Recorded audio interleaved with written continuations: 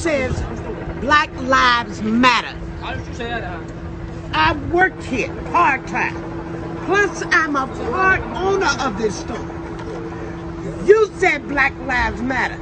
Why don't you choke me? I'm black. Tell him, sister. Look what you did to my store. Tell him, sister. Look! Tell Look him, what you did to my store. Tell him, sister. That's right, because I got they back. These are my Look. dudes right here. Good Look at the things you've done. Good men. Look! For Black Lives Matter. We've been here all night cleaning up.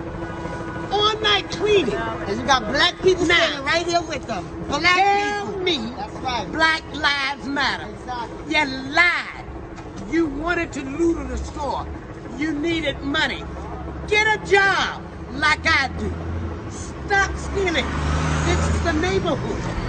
We're trying to build it up and you tearing it down. It's free Wayne. There's nobody at the checkout. But this nigga just pulled a gun out on not just me, but five other black females. And y'all sitting up here really pretending like y'all did this over black lives. A black man who looks like me, who should be out there protecting me, just pulled a gun out on me and five other sisters. So y'all tell me, keep lying to yourself, talking about this was about black lives just pulled a gun out on me because I'm out here trying to clean up.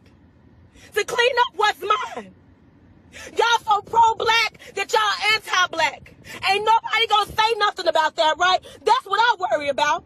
When the police came here, they ain't pull out no gun on me. But my brother did. Just pulled out a gun on us. Because we're trying to stop people from coming in the parking lot. We're trying to stop people from coming in the parking lot and creating more garbage. And this man just pulled a gun out on me and five other females. So now I'm in my car and I'm finna go home because at the end of the day, I feel hopeless and there's nothing that I can do. I'm picking up garbage and here goes some old black folks throwing some shit on the ground. Coming in the store, taking stuff, and not and not helping, not asking who needs something. You pulled the gun out on me. That's what you did. You stood there. And you pulled the gun out. And y'all out here worried about these police officers. Everybody is against us, including us. They went straight to Office Max, the dollar store, and every store over here that I go to. I have nowhere to go now. I have no way to get there because the buses aren't running. These people did this for no reason. It's not going to bring George back here. George is in a better place than we are.